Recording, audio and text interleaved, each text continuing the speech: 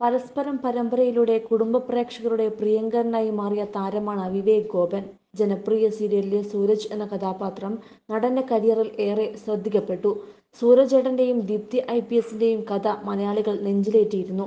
അഞ്ചു വർഷത്തിൽ അധികമാണ് പരസ്പരം സംരക്ഷണം ചെയ്തത്. സീരിയലിന് പുറമെ സിനിമകളിലൂടെയും വിവേക് ഗോപൻ പ്രേക്ഷകർക്ക് മുൻപിലെത്തി. അഭിനേതാവ് എന്നതിലുപരി ക്രിക്കറ്റിലും തിളങ്ങിയിരുന്നു നടൻ. സെലിബ്രിറ്റി ക്രിക്കറ്റ് ലീഗിൽ കേരള ടീമിനായാണ് താരം കളിച്ചത്. അതേസമയം പ്രണയവിവാഹമായിരുന്നു താരത്തിന്റെത്. വിവാഹവും അതിനുശേഷമുള്ള ജീവിതവും എങ്ങനെയായിരുന്നുവെന്ന് സിനിമ ദി ക്യുക്ക് എന്ന യൂട്യൂബ് ചാനലിന് നൽകിയ അഭിമുഖത്തിൽ തുറന്നു പറഞ്ഞിരിക്കുകയാണ് അദ്ദേഹം. വീഡിയോ കാണാം. ഞങ്ങൾ ലൈഫ് സ്റ്റാർട്ട് ചെയ്തത് ആബ്സല്യൂട്ട് സീറോയിൽ നിന്നാണ്. ഞങ്ങൾ ആരുമല്ലായിരുന്നു ഞങ്ങൾ വളരെ സാധാരണ ആൾക്കാരായിരുന്നു. ആക്ച്വലി ഞങ്ങളുടെ ഒരു ലവ് മാരേജ് ആണ്. വീട്ടുകാർ പിന്നെ അക്സെപ്റ്റ് ചെയ്ത് പിന്നെ കല്യാണം കഴിച്ചതാണ് പള്ളിയിലൊക്കെ വെച്ചിട്ട്. ആദ്യം ഞങ്ങൾ രജിസ്റ്റർ മാരേജ് ചെയ്തതാണ്. ഞാൻ ആക്ച്വലി ഒരു ഡാൻസ് ഗ്രൂപ്പിലുണ്ടായിരുന്നു സജന നജാം എന്ന പുള്ളിക്കാരത്തിയുടെ പുള്ളി അവിടെ വരുമായിരുന്നു അങ്ങനെ പരി ഞാൻ വായി നോക്കാൻ പോണതാ. അതറിയാം. തുടങ്ങി പിന്നെ പ്രേമിച്ചു കുറച്ച് നാൾ നാല് വർഷത്തോളം പ്രേമിച്ചു. പിന്നെ കല്യാണം കഴിച്ചു.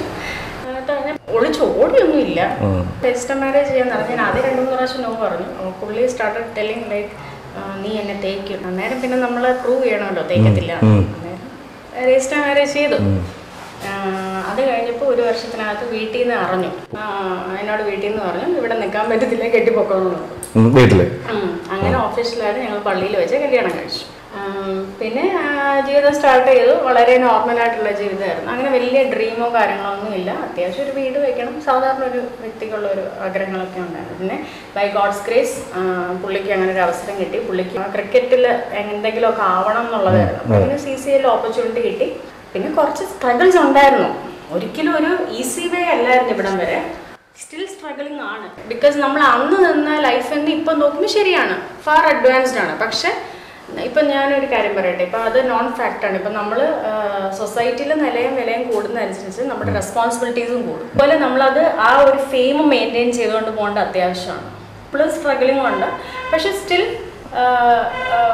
സത്യമായിട്ടും ദൈവത്തിനോട് ഒത്തിരി നന്ദിയുണ്ട് കാരണം പ്രതീക്ഷിച്ചിരുന്നത് അടുത്തല്ല. ഞങ്ങൾ ഇപ്പം ഞങ്ങൾക്ക് ഇപ്പം ഞങ്ങൾ കേരളത്തിൽ ഇറങ്ങുവാണെങ്കിൽ എല്ലാവർക്കും ഒട്ടുമിക്ക ആൾക്കാർക്കും നമ്മൾ അറിയാം. അത് വലിയൊരു കാര്യമാണ്. കൂടുതൽ സിനിമ സീരിയൽ ചാനൽ വാർത്തകൾക്കും നിങ്ങളുടെ പ്രിയപ്പെട്ട താരങ്ങളുടെ എക്സ്ക്ലൂസീവ് അഭിമുഖങ്ങൾക്കുമായി സബ്സ്ക്രൈബ് ചെയ്യാൻ മറക്കല്ലേ?